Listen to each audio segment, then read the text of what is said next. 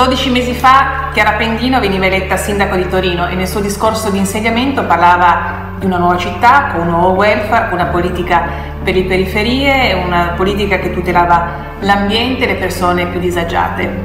Dopo 12 mesi sappiamo che quel discorso non è mai stato preso veramente sul serio neanche da chi l'ha pronunciato, perché oggi Torino è una città più povera, più insicura, dove le periferie sono state veramente abbandonate e dove la figura internazionale brutta che abbiamo fatto il 3 giugno l'ha resa sicuramente non più prestigiosa come avveniva in passato. In pochi mesi sono stati cancellati 23 anni di buon governo fatto dalle giunte di centrosinistra.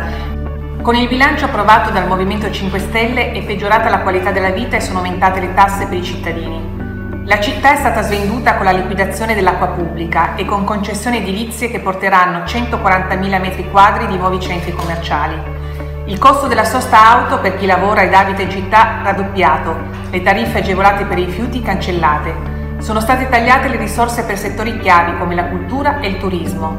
Il Movimento 5 Stelle per far quadrare il bilancio ha manipolato le entrate inserendo voci sovrastimate o non certificate anche il welfare è stato pesantemente ridimensionato a partire dalla riduzione delle risorse alle scuole materne, con disagi e spese per tutte le famiglie. Nonostante i 18 milioni di euro destinati a Torino dal governo nazionale, da mesi i comitati di quartiere denunciano l'abbandono delle periferie, meno verde pubblico, più sporcizia, degrado e illegalità, la tensione sociale è altissima.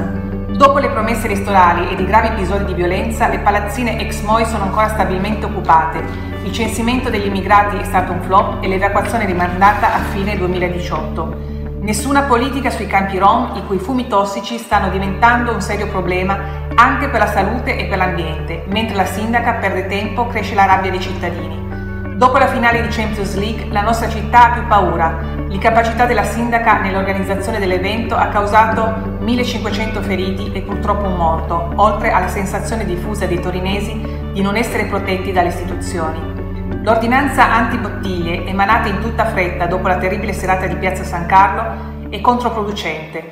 Pochi controlli penalizzano di fatto i commercianti onesti ed incoraggiano i venditori abusivi. Le immagini dei feriti del 3 giugno hanno fatto il giro del mondo. Torino è l'unica città dove si muore per un falso allarme e ancora oggi la sindaca non ci ha spiegato il perché. Torino in questi mesi ha perso numerosi grandi eventi che avrebbero portato migliaia di visitatori, come la mostra di Manet, Cioccolato, la festa delle guide Lonely Planet o Street Food Around the World. La pessima gestione del panino libero nelle scuole ha portato a una riduzione di introiti, pari a 3 milioni di euro, il rischio di esuberi per la società appaltatrice del servizio mensa, disagi a bambini e famiglie. Nonostante la pericolosissima epidemia di morbillo che sta colpendo Torino e il Piemonte, continua l'irresponsabile ambiguità e la disinformazione della giunta del Movimento 5 Stelle sui vaccini.